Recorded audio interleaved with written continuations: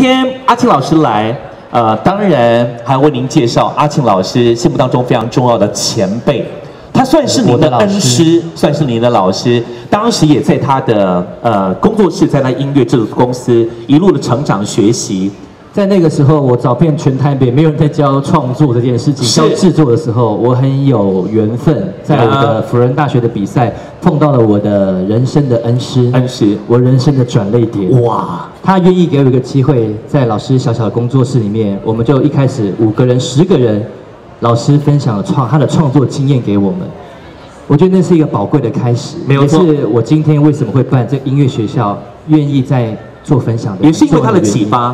所以呃，如果这样算起来的话，他应该算是我们的第一代，对，哇，那个当时阿布贵之前的对，真正的大大校长，他更是很多重要音乐奖项的音乐总监，对，他是很多人心目当中天王天后最爱的制作人、编曲人、创作人。各位朋友们，让欢迎阿庆老师，都要立正站好的，然后欢迎陈建明老师，老师好。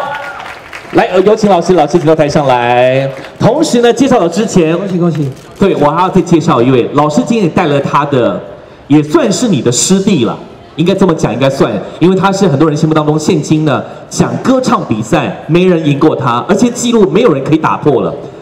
当时小时候五等奖比赛的时候，他就拿到儿童组的冠军宝座，五度五关。没想到时隔多年之后参加《我要当歌手》，又把冠军捧回家了。这也是天天老师非常重要的得力，而且更期待的这位超级唱将。然后欢迎红人，欢迎萧红人。谢谢谢谢。耶，红人好，红人好。是我们是不是请天天老师先讲一下？呃，尤其就是阿庆老师决定要做这个 Playground，就是梦幻游乐园的一个流行艺术学校。